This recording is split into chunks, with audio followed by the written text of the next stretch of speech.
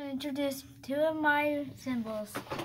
New cymbals I the first one is a China cymbal that I got from online, and the second one is a ride cymbal, a China ride. I mean a crash ride from a random store. And I'm playing Voodoo from Godsmack. So, hope you like the video.